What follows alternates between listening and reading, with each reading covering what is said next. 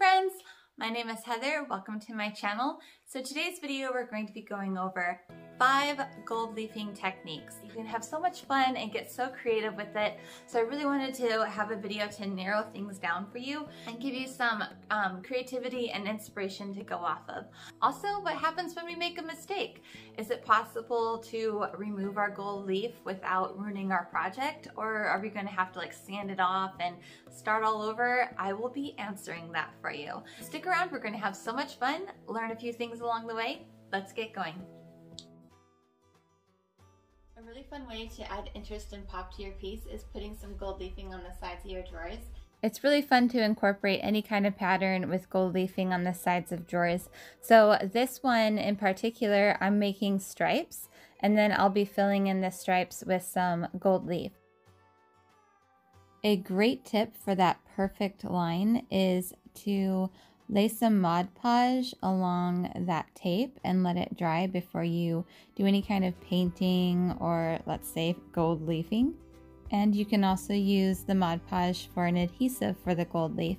So I'll be laying that on for our adhesive today and it will also ensure that perfect line. So that is a win-win. Gold leaf will stick to any kind of moisture. So before I start any project, I make sure to powder my hands because it creates that perfect barrier, which allows you to touch and work with that gold leafing with ease. So after your adhesive gets tacky to the touch, then you're able to go ahead and start applying your gold leaf. So I like to go ahead and do it sheet by sheet Sometimes I will tear the gold leaf in half to make it a little bit more conformed to the shape. But other than that, um, because we have powdered our hands and are able to touch and play with the gold leaf, we're able to just pick up pieces along the way and fill in all those blanks and make our um, pretty little strips. Okay, so here's a fun little tidbit. Whatever gold leaf is just kind of hanging there and has not been tampered by the adhesive, you can go ahead and tap that off and set it aside and save it for another project um, because it actually becomes gold leafing flakes, which are sold online or in stores. And so, you know, you can have many purposes for gold leafing flakes as well. So it's a fun way to recycle and repurpose your gold leaf. So now I'm just continuing to tap it back until there's no more floofy bits sticking out, making sure it's nice and smooth, and then we can just peel back our tape. And here's the final look. Nice little pop of gold when you open up that drawer. So pretty. One thing that's really fun and easy to do with gold leafing is to go around the frames of the drawers and line it with gold leaf. So you can do this either if the drawers have a framing like this or if they sit in a little bit you can actually frame the, the piece.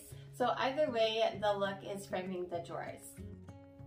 I'll be taking the Speedball adhesive and using a small artist brush going along the frames of the drawers here. So just give it a few passes and then we want to wait 30 minutes for it to get tacky. I'll be using the Barnabas, a gold leaf for this project. So I like having it open and ready to go. It just makes it so much more easier when you're working with it. So we will be taking off the little squares at a time, you know, just one sheet at a time and uh, laying it down along the frame and just kind of going in repetition. So it, it just peels off really easily.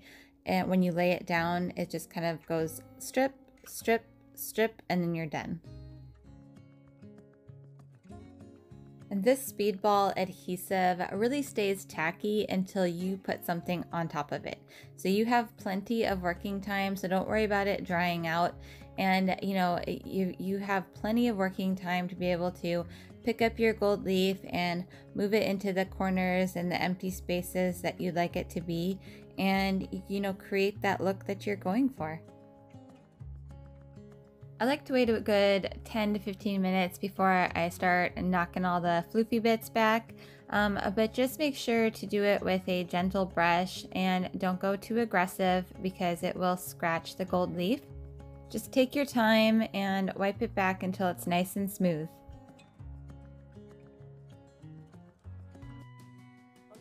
So every once in a while when you're applying gold leaf, you know, a mistake might happen. You might get it somewhere, you know, you're not intending to get it or it might not look exactly how you'd like. When you are applying gold leaf, it's with an adhesive. So what you want to do is use something to dissolve that adhesive. So right here is where the adhesive kind of stuck on the side and then the gold leaf, of course, naturally would stick next to the side. One of the ways that you can remove it is with acetone. It's pretty common. You probably have it under your sink or you can get it at a drugstore.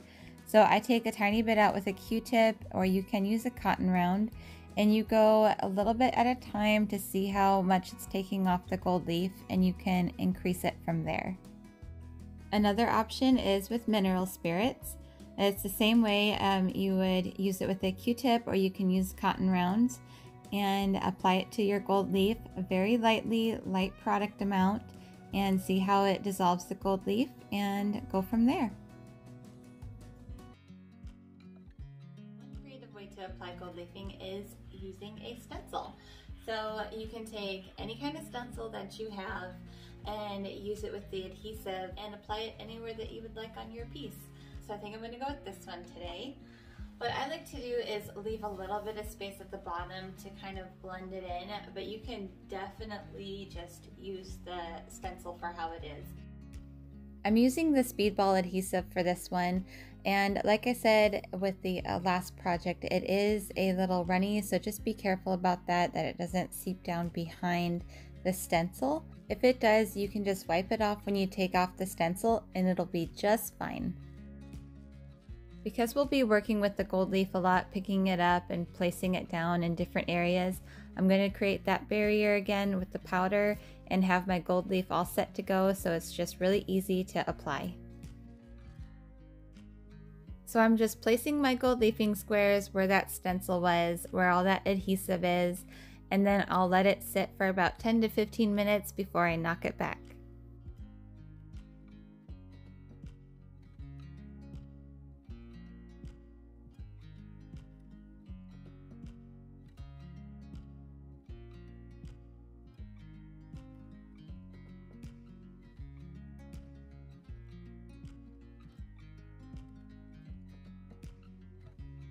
So here's just the comparison of the two. So one is a more distressed look and the other is a more pieced together look. So if that's something that you're interested in creating with the stencil, um, that's how it's gonna look. Let's go ahead and move on to another technique. A way that you can use gold leafing for some detailing is on the hardware. So I have two different kinds of hardware here and one I'm going to show you how to apply some gold leaf flakes and then the other one we're going to apply a full sheet to cover up the hardware. So this one in particular is already spray painted in gold, um, but I wanted to add some of the flakes to give it more of a shiny look, which only that gold leafing can achieve. And then this one, I wanted to create an entire look of gold leaf on the hardware so that it matches the look that I'm going for on that piece over there. So um, it's really easy to do. Let me show you. As with any gold leafing project, we need our adhesive. So once again, I'll be using the speedball. I just find it easier for the hardware process because you have more working time with it. So for the ones that I'll be laying down the entire sheet on, I'll be laying the adhesive all over. And then the ones that are gold that I'll just be doing the gold flakes on, I'll just be applying the adhesive uh, sporadically in little areas where I can individually lay those flakes. And then we'll set it aside and wait for 30 minutes. We'll start with the flakes first. You can definitely use tweezers for this, um, but once again, I powdered the hands, so I'm just going to pick them up and uh, place them where I'd like that um, where I'd like them to be, where the adhesive is, and then set it aside. I'm just to let them sit for the amount of time where I'm doing the other hardware, and then I'll come back and we'll tap that off. So for these ones, since we're working with two different shapes at the same time, I'll utilize the sheet as I go. So as I remove the sheet, I'm separating it in half and then I'll blanket the handle and wait for it to stick to the adhesive. And then very gently, I'll tear off certain pieces and then go over to those uh, side pieces over there and start covering them up with the gold leaf. And once everything is fully covered on one side with those handles, all I do is flip it to the other side and repeat the process. And then you just keep turning the handle and pressing the gold leaf on the adhesive.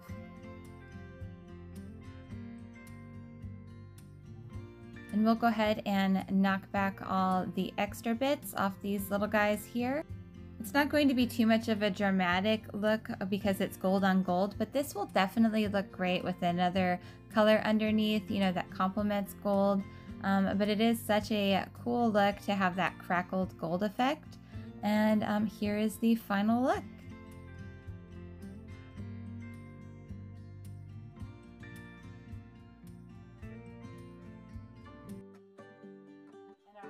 Technique is the diagonal.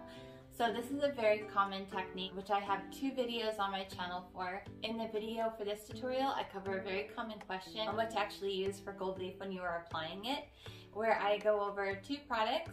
I apply half of this technique in one product and the other half in the other and it's in this video right up here. So in this one I cover two other common products um, between the Mod Podge and Speedball. We cover pricing and application and it's in this video here. So go ahead and click on one of those and I'll see you there. Bye friends.